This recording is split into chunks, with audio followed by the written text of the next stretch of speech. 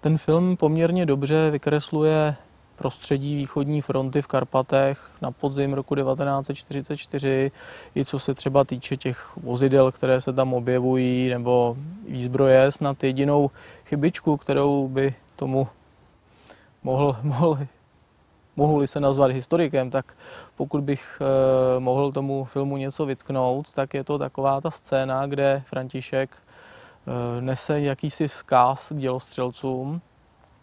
Ve filmu se to odehrává ještě v době, kdy československý sbor stojí před hranicemi a eh, František, který donese tu zprávu a ten, kdo vojenskou techniku zná, tak ví, že Eh, ti dělostřelci jsou tam vyzbrojeni kanonovými houfnicemi ráže 150 mm. A tam je právě ta drobná chybička, protože těmito houfnicemi byl vyzbrojen pouze dělostřelecký pluk 5.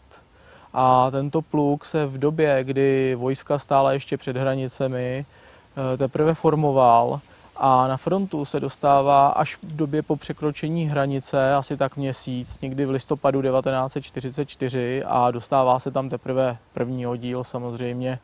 Pouze ti první eh, vycvičení vojáci a celý pluk, ten se tam dostává až teprve někdy na přelomu eh, roku 44-45 a jeho první velkou akcí, kde zasáhl do boje jako celek, je ta velká dělostřelecká ofenzíva u Jasla 15. ledna 1945.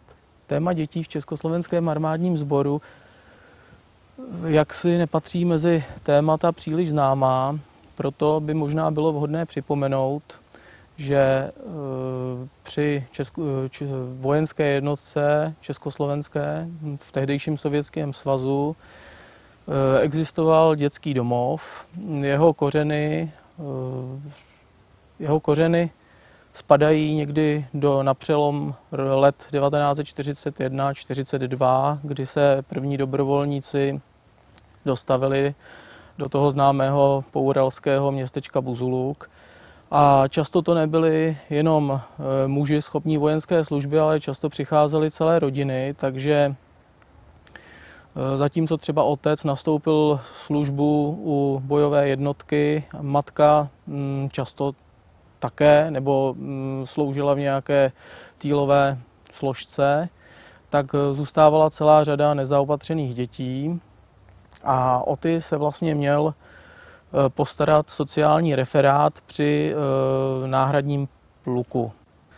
Eh, ten dětský domov se hm, s tím, jak postupovala fronta, tak se přesouval za těmi bojujícími vojsky, takže z Buzuluku se potom v roce 19 na přelomu let 43-44 přesunul do ruského města Jefremov, Tehdy v tom dětském domově bylo asi 40 dětí.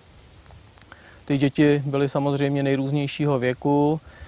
E, ty větší měly zabezpečeno, zabezpečenou školní docházku, většinou se učili tedy česky, ale některé z nich e, chodili i do ruských škol. E, děti dostávaly i zvláštní příděly a bylo o ně v těch válečných dobách relativně dobře postaráno.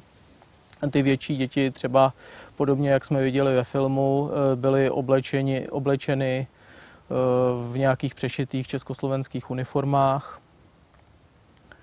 A někteří z těch, kteří eh, během těch válečných let dorostli do, hm, řekněme, takového věku 13-14 let, potom nastoupili i službu u některé z jednotek sborů, samozřejmě týlových, takže potom eh, pomáhali třeba s distribucí tisku nebo rozvážet poštu a podobně.